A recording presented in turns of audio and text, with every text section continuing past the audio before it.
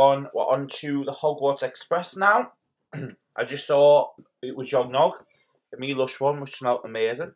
We're on to day number 20, which is that one there.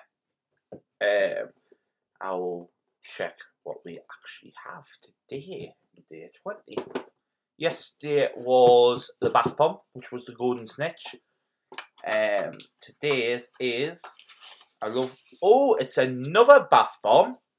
And what's in today? So we had bath bomb yesterday and bath bomb today, and it's a Hufflepuff. And that just smells like the body spray or fragrance spray. Um, it's a very nice fruity smell. Um, it's a bit spicy, but it smells fruity. So, um, if you think, oh, fancy advent calendar, I think Boots still have it.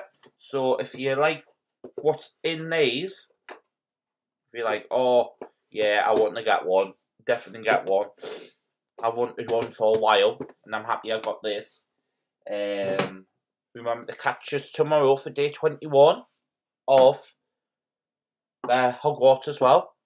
And then we'll find out what we're going to get in 21. Thank you. Bye.